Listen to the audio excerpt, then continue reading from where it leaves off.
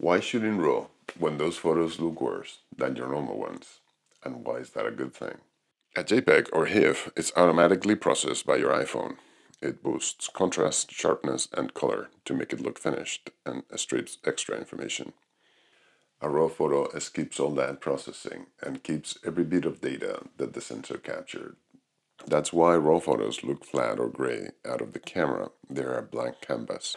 But because they keep so much information, you can edit exposure, shadows, and color far beyond what a JPEG can handle without ruining the image, giving you much more leeway. My recommendation, shoot RAW when lighting is tricky. Sunset, concerts, interiors, or any time you plan to edit later. If you just need a quick photo to share right away, stick with JPEG or HEIF.